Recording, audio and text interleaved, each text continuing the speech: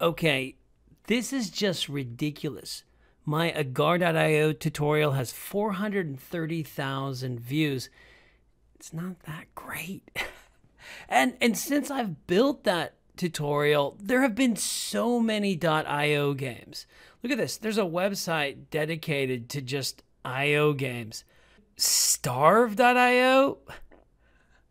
Look at all these games. So, I need to create my own .io game. So, let's jump over to GoDaddy and let's get a nice IO. You can tell that I was already looking for poop.io, but unfortunately, it's already taken. Uh, but, but you can be a poop expert for nine. we have to buy this URL. The, the premium, the poop store, the poop house, poop international. talk to Matt. He's the poop coach, and there's pooping in. There's endless opportunities here.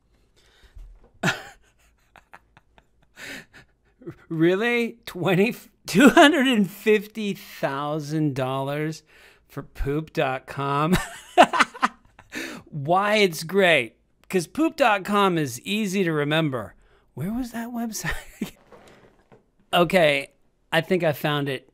BigPoo.io. You can't go wrong. This is going to be a killer game. No, it's totally a great investment.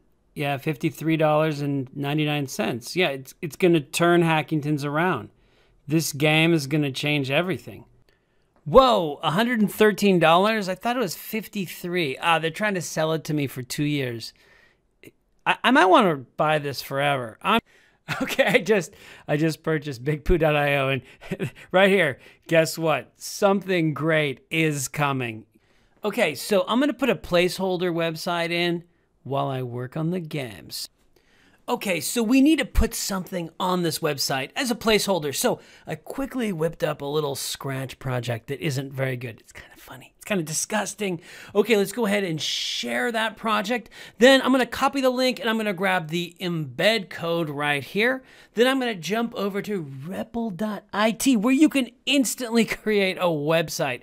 Here it is, bigpoo.io. I have my website. I've embedded my uh, the scratch game, the iframe in there. So it's good to go. So all I have to do is, well, I need the file quick. I'm just going to download as a zip file. There it is. So I've downloaded that project. I will jump over to Netlify. Have you ever used Netlify? It's like the world's easiest hosting. So I deployed that project that I just downloaded loaded on Netlify, and then I needed to go into the site settings and change the name of it, the site name to Big Poo. I like to say that. And then what else did I change? Uh, the domain management. I set up some custom domains and I did www.bigpoo.io. And then once I did that, I set it up with Netlify's DNS.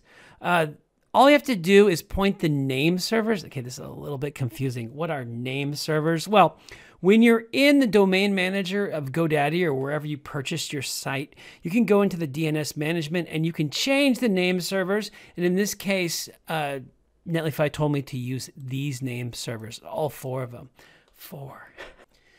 And here it is, bigpoo.io. And guess what?